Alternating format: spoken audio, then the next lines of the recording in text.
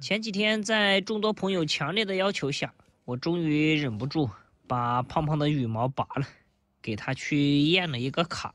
本来我是不想验的，因为我这个体质，我养的是什么性别的，大家一猜都能猜出来了。我就说不验不验，你们非要让我验，来嘛，大家一起来看看结果。我都不想说话了，这下是彻底让我死心了。本来还可以稍微期待一下，它是只公鸟，这下好了吧？希望彻底破灭了，咱们家又多了一只母鸟。这母鸟都快泛滥成灾了哟！给你们数一数，一共多少只啊？贝贝不用说了，到家没几天就生了几颗蛋，是只母鸟没错吧？而且最近开春了，它在疯狂邀请我采贝，我都不知道怎么和它相处了。然后大郎现在三个月了，经过我摸骨看相的手法判断啊，它基本上百分之百确定是只母鸟了。其实根本不用摸，从它这个站姿就很明显的能够判断出来它是只母鸟了。站着跟趴着一样，大黄的话就不用我说了吧，以前和另外一只母鸟谈过恋爱的，而且还生了一颗蛋哦。后面我把白蛋给它换了，用了一个鹌鹑蛋给它孵，结果还被它孵出来了。二黑和老三最近刚刚歇窝，两只母鸟生了十几颗白蛋哦。本来想着二黑母性好一点，给它换了个受精蛋孵，结果临近出壳了，这两个鸟不知道什么情况，给我咬的稀巴烂。最后那个小鸟也没有救活，小伙子也是咱们家土生土长的，没错，是只母鸟，目前已经生了七个娃了。然后就是小小灰，其实我挺诧异的，原始灰我都能孵出母鸟来，看来原始灰百分之八十是公鸟这个说法到我这儿也不是很准嘛。四只小虎皮的话，临走的时候送了朋友两只，现在还剩下两只，不过最近我越看它们越像母鸟哦，你们看这个鼻子嘛。越来越白了，这个也是，那才三个月左右，鼻子浅蓝色，鼻孔是白色的，多半是个母的。老六的话，我找专业养八哥的人分析过，它好像就是只母八哥，应该是没有错了。至于这两只母鸭子，现在都已经发展到自娱自乐的程度了，我也是没办法，等以后再给他们找只公鸭吧。唯一不能确定的就是这个小伙子，我也不懂喜鹊怎么看哦。我内心的话还是希望它是只公鸟，那咱们就把它当做一只公鸟吧。当然，我孵的也不是完全没有公鸟啊，比如说老十四，对吧？这就是一只公鸟了，有事儿没事儿还在笼子里吹吹小曲儿，这还是相当不错的。后面孵的小小灰也是一只公鸟，目前已经学会吹口哨了哟，而且吹的好像比老十四还厉害一些。不过我仔细算了一算，咱们孵了这么多鸟，好像就两只公鸟啊，朋友们，我是真的不知道问题出在哪里呀。这伙计不知道哪根筋搭错了，非要飞我头上来捉我头发。我为数不多的一点发量被他这么一弄，更是雪上加霜了。劝你自重，不要再来惹我了啊，不然小心我把你绑起来。去吧。我刚刚怎么说来着？啊！我一进屋，他立马就追过来了。这今天是和我杠上了是吧？跳我肩上，他就开始扯我头发。你是不是直发的视频刷多了，想扯我的去直到你的身上啊？走吧。抓了他几次，还是不依不饶的。我还以为是他饿了，结果拿东西给他吃，他也不吃，就这样围着我转。最后我去找了颗花生米给他。分散一下他的注意力，不然他就一直惦记着我，总感觉怪怪的。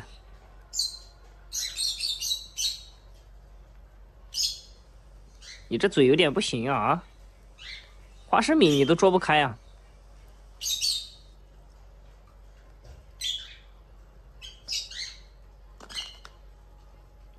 拿去自己叼着吃吧，懒得喂你了。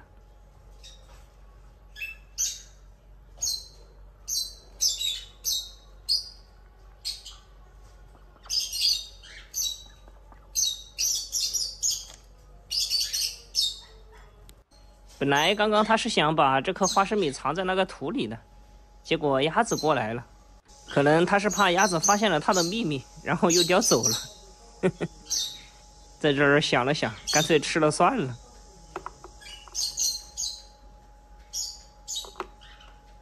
哦，这下掉了，去哪里找啊？你好，老六，你这也太不地道了，追着他打干嘛呢？都是一家人呀，是吧，老六？来，当我没说，过来，给你吃颗葡萄，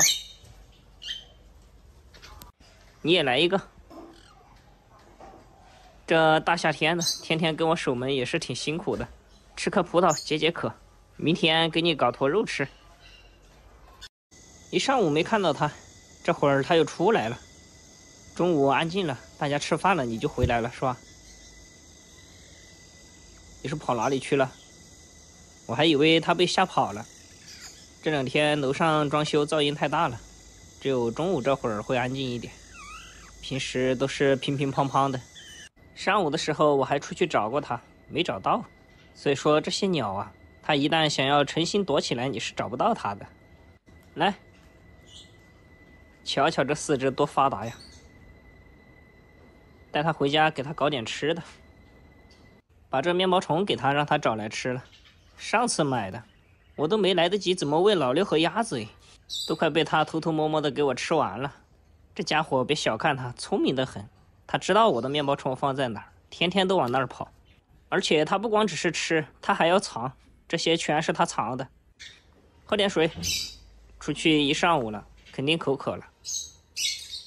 他去吃他藏的面包虫了，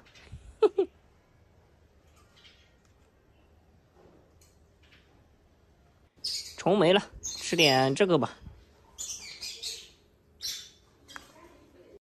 这日子过得可以啊，吃饱喝足就开始晒太阳，而且要晒就晒中午最烈的太阳。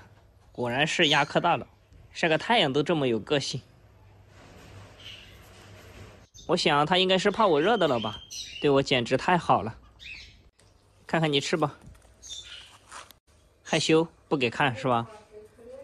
又去叼了一些乱七八糟的回来，这家伙现在像个捡垃圾的一样。那骨头、烟头，还有这什么东西啊？我估计他藏东西的地方没有十处都有八处了，很多地方可能他自己都忘了。刚刚又给他洗了个澡。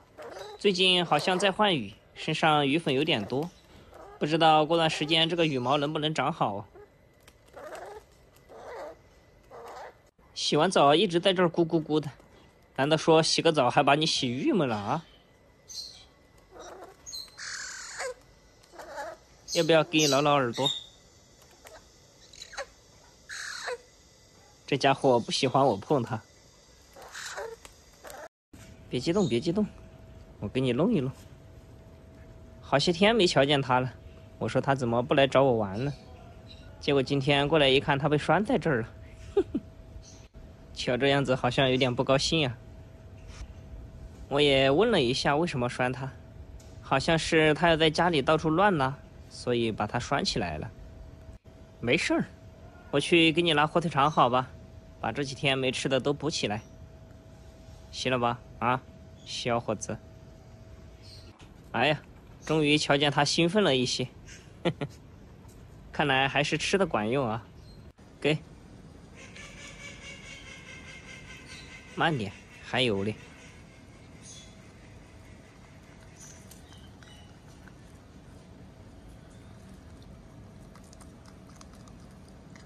行了，这根没了，瞧瞧，还有两根嘞。好几天没尝到这个味道了，是不是特别想我呀？啊，这小伙子，那最后一根了，这都吃完了，我才发现，这后面用的什么来把它拴住呀？这不得勒得慌啊，胖哥，我家里好像有一根小狗的牵引绳，它这个年纪用好像刚刚好，以前土豆用过的，不过时间过去这么久了。还得回去找一找。再说一次啊，这不是我养的狗，它是有主人的，而且也不要说让我把它养着。本来他们养它就是想让它看家护院的，所以把它拴起来都是很正常的。只是咱们刚好有多的这个牵引绳吧，给它换一下，让它稍微好受一点，不至于这么勒得慌。吃的虽然不是狗粮吧，但吃的倒也蛮好的。农村养狗就是这样，人吃什么它就吃什么，这都是很正常的。我想可能也是实在忍不了它到处乱拉了，所以才把它强行拴在这儿。这家伙，好了，放开，我要走了，回去找找我那根狗绳。我能帮你的也就到这儿了，只能让你稍微舒服一点。放了。别小看我这笼子，都已经抓了好几十只老鼠了。我说这两天怎么不对劲？有时候晚上老十四他们还要扎笼，原来是真的有老鼠。今天被我逮到了吧？这家伙好像有偏头痛哎，头一直偏着。还是老规矩啊，咱们把它放了。放之前先给它洗个澡，身上都臭死了。像我这么好的人已经不多了，所以以后不要再来了啊！来，吹一个老十四，动嘴啊！这家伙想出来的时候就使劲在笼子里吹，把它放出来了，反而它就成哑巴了。哟呵，嘿嘿，还生气了，最近小脾气还见长啊啊！吃吧。给你吃点好吃的。其实他已经会吹两个口哨了，就是放出来的时候吧，他就不开口了。每天自己在笼子里吹的老欢了。来吧，知道你已经等了很久了。每次最喜欢的就是给他摸头。不过最近他在换羽，头上长了好多小针管出来，不敢使劲给他撸。有时候把它撸痛了，它要发火。还有，我发现一个很好玩的事儿，就是除了它的头，身上哪里都不能碰，碰它就会发火咬我。这个猪也是有小脾气的，看吧，凶起来了。其实它咬人一点都不痛，还没有小伙子咬的痛嘞。但是它这个样子特别搞笑，我很喜欢这样去逗它。来看看你的秃头嘞，好久没看了。呀，这还是这么大一块呀，也没说长一点出来，怎么越来越秃了呀？这，看看，差不多都有我指甲盖这么大一块了。还好这个罐能盖住，不然就真的尴尬了。这地方是他最喜欢挠的，应该是挠起来特别舒服。你别抓破了啊，上面没毛的。瞧瞧，这还挂了一颗小石榴哎！这在太阳下一看，简直是亮得发光。还有你们说它眼睛变黑了，其实并没有，这在太阳下面照着还是能看出来是红色的，只不过是人家长大了，这个眼睛红得比较深了，所以乍一眼看起来好像是黑的一样。你从哪里来呀，小伙子？长得还蛮可爱的啊！呀，这你干嘛呀？看到我直接就尿了，你这样不好吧？逮到一只小狗，不是我养的，是房东养的，应该是刚领回家没几天，前几天都没看到它。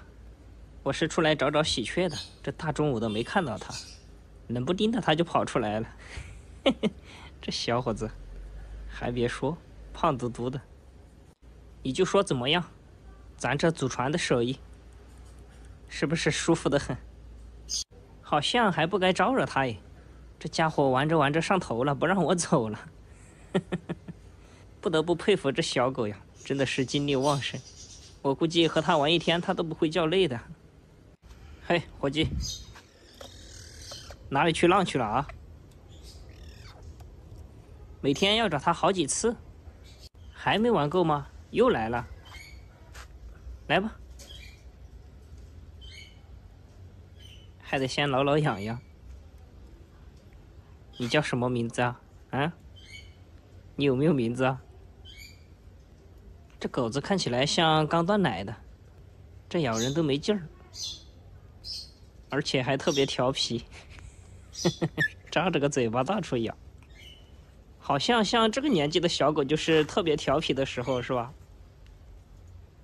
这喜鹊好像想和它玩耶。我说昨天晚上怎么它不回家，老是往这边跑，而且还时不时的嘎嘎叫，原来是发现了这个小狗。看吧，它一直盯着这狗子嘞。去，去和它打个招呼。嘿嘿，你还知道怕呀？又下来了，他就是对这狗子好奇，但是吧又不敢靠近。哎，你要干嘛嘞？他该不会是想要从后面去捉一下吧？上啊，赶紧的，趁他不注意捉了就跑呗，反正你有翅膀，他又追不上。机会错过了，被这狗子反应过来了。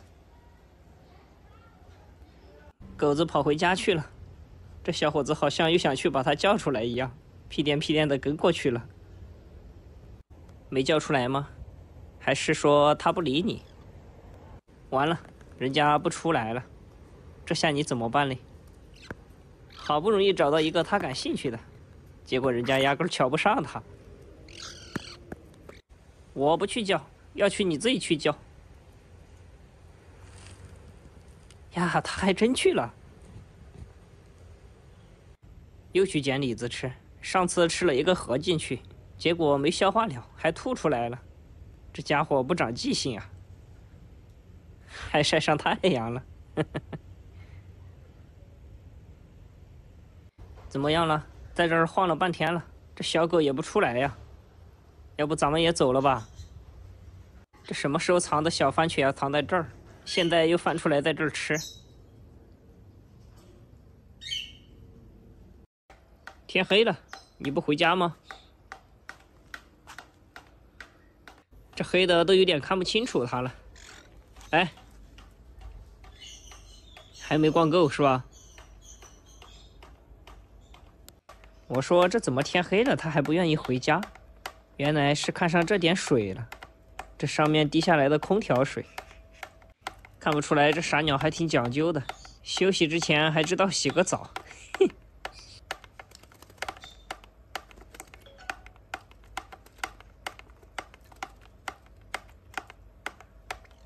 来吧，洗完了该走了。小伙子，上来。哟呵，今晚想在这儿过夜呀？来，窗台才是你的家呀。这不对了，好好站那儿休息啊！天黑了就别到处跑了。我这才刚一转身。他又跑出去了，看吧，这都有点看不清楚他了。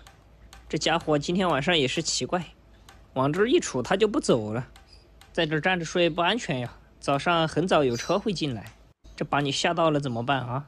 飞又飞不高，一天天的还到处乱窜，这下乌漆麻黑的不敢飞出去了吧？他现在站在门上，在手机里我甚至都有点看不到他了，好黑呀！又过了一个小时，又来找鸟。呀，这这家伙今天晚上好像发疯一样，非要跑出来。这家伙，这跑到哪里去了？这天是彻底黑了呀！他这个颜色去哪里找啊？找了老半天，结果发现他在这儿站着。你好歹也叫一声呀！上来，你这就有点不厚道了啊！看到我过来打个招呼呗。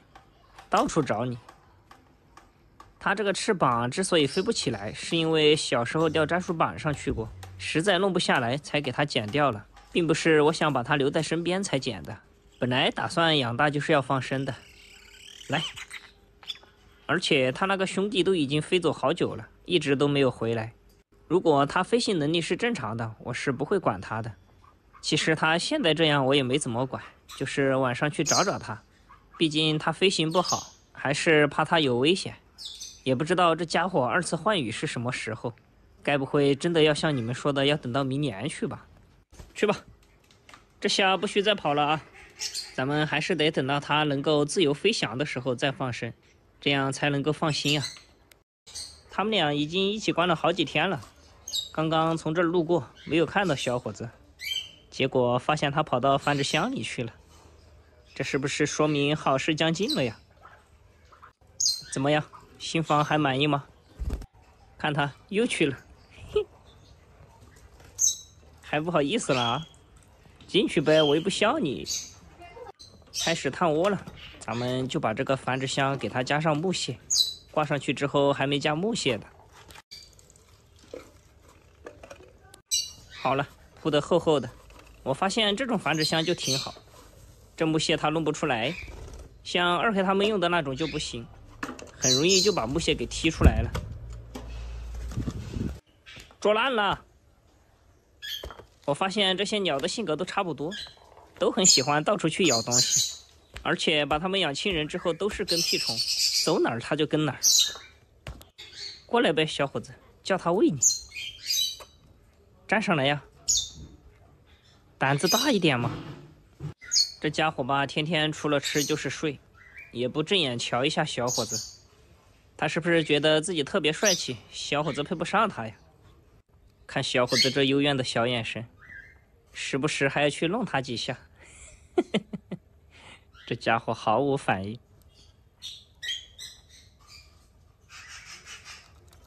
交粮，不交粮你还想上来？看这头。就这两天的功夫，密密麻麻长出来的全是真鱼。难道是突然因为来了一个帅哥，把他刺激到了？太兴奋了是吧？长这么多出来，等着谁来给你掐呢？人家都不正眼瞧你一下，这长这么多出来，不是遭罪吗？嘿嘿嘿到时候还是只有自己在笼子上蹭。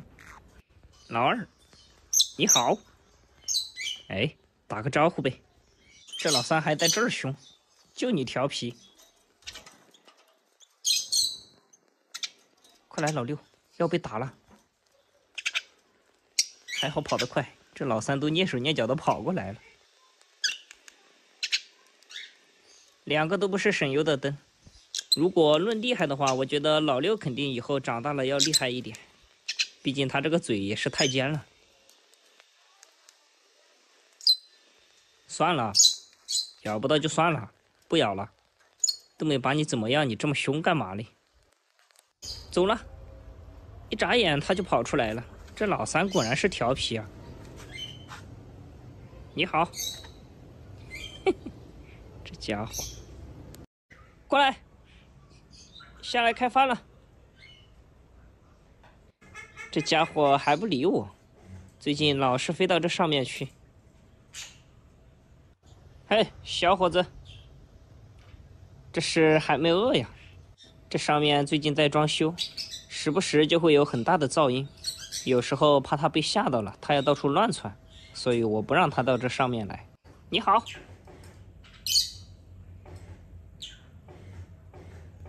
还是大黄乖，在楼底下和我打招呼嘞。嘿，这家伙嘞，这么大的太阳你不热吗？非要跑到这上面来，调皮啊！前几天有一次，就是他在这上面玩，突然发出了一声巨响，把他吓得半死，差点没找到他，也是找了好久，在一个角落里把他找到了。这家伙，给你们看个好玩的，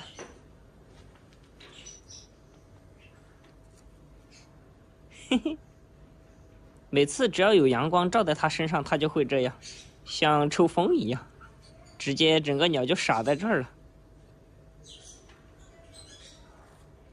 看这两边的毛，它都把它张开了。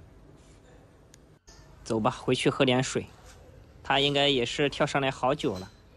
这天气太热了，给它弄点水喝。哎，小伙子，你不想走吗？沟通了好久，最后还是我给它带水上来。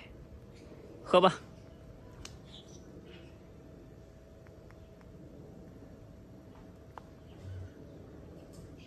我发现它最近活动范围越来越大了，有时候甚至半天都看不到它，冷不丁的它就出现了。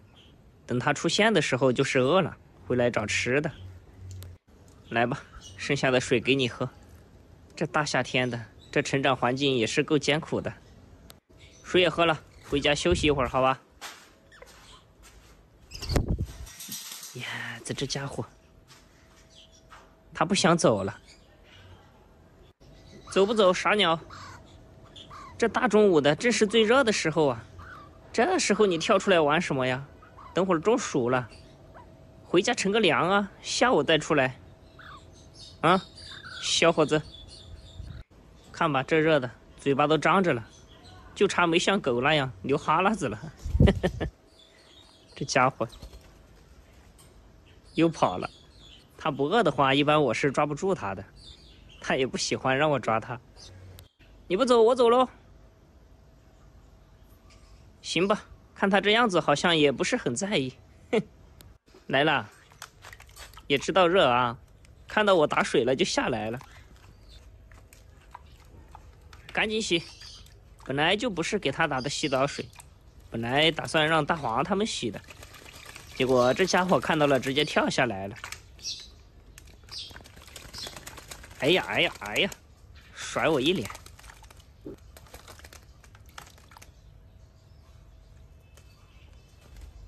看样子应该是洗好了。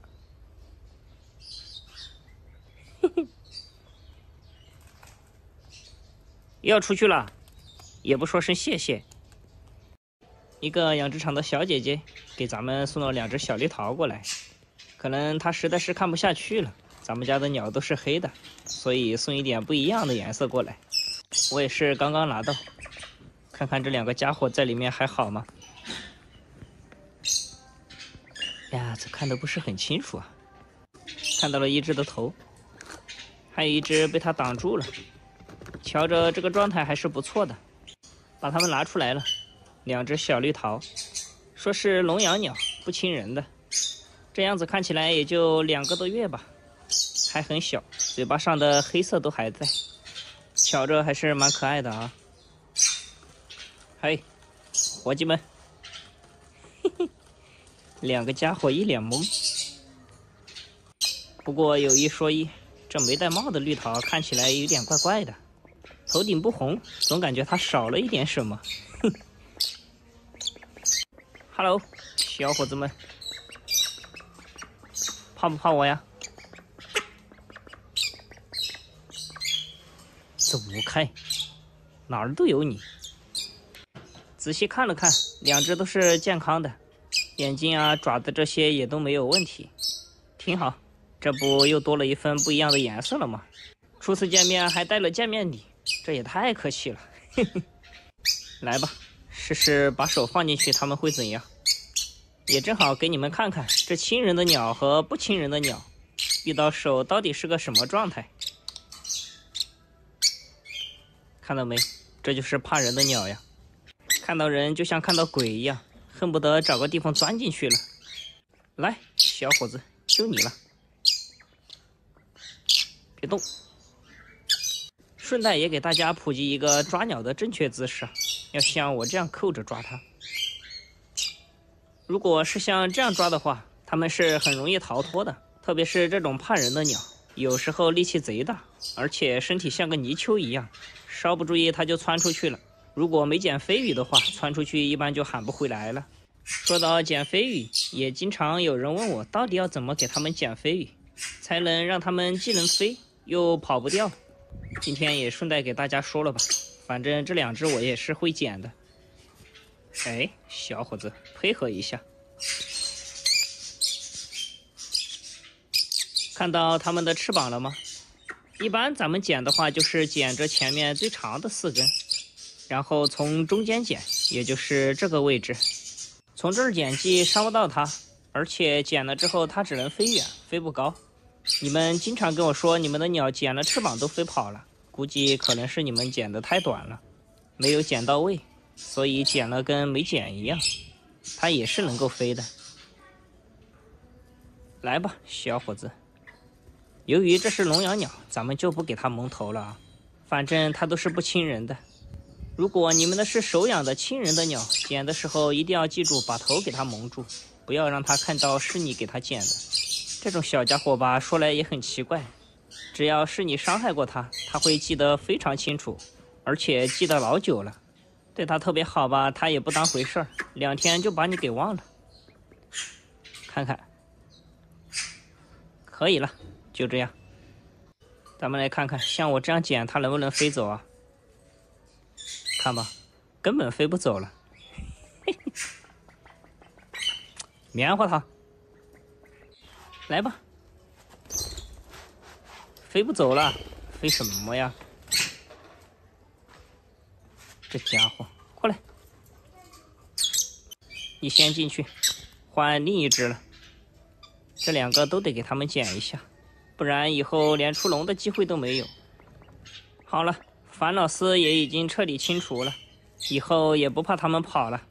咱们也再次谢谢这个粉丝小姐姐送过来的两只小绿桃，很可爱，非常喜欢。吃嘛，看你能不能吃了。这棉花糖有时候粘人粘的。过来，抓它吧，它还不给你抓。哎，这家伙，来呀，别跑呀！前几天这家伙被吓得炸聋了，当场直接晕了过去。本来我还以为他这臭脾气可能和我亲不起来了，没想到经过这几天的相处，他好像对我改观不少哦。也没有好多少，就是吃了东西，他至少不着急走了，愿意待在我的手上，至少这就是个好的开始。看来上次让他回笼好好想一想，他应该是认真想过的。看我这周围，全是保镖，这边还有鸭子。这家伙应该是回来吃饭的，每次饿了他就出现了。平时不知道他躲到哪里去了，身上的社会气息越来越浓了，像个二流子一样。鸭子，这个猪，你至于吗？就摸了你一下，这翅膀好像不对称哎，左边这个翅膀好像受伤了一样，不知道是不是上次自己在笼子里瞎折腾弄到了。看吧。它这个尖好像都是一高一低的，这样子这个翅膀应该就是受伤了，都已经垮掉了，收不上去，一个翅膀扇着跳下去了，像个独臂大侠一样，一边高一边低的，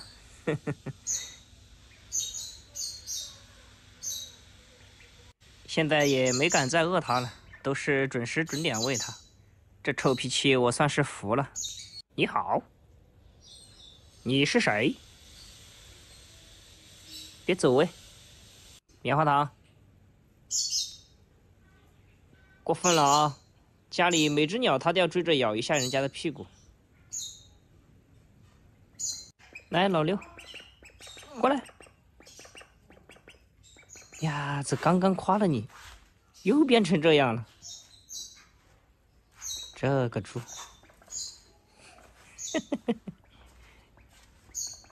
走开，棉花糖，来，拿他毫无办法。这马上到家都一个月了，一点感情都没有。过来，五弟，这鸭子长大了，也不喜欢跑手上来了，现在看到手就要跑。棉花糖，来。天天跟着我的屁股后面转，又不上手，你到底要干嘛嘛？该不会喜欢上我了吧？好了，把老六也放回去了。这家伙在手上表现的还挺乖的，放到地上就像脱缰的野马一样。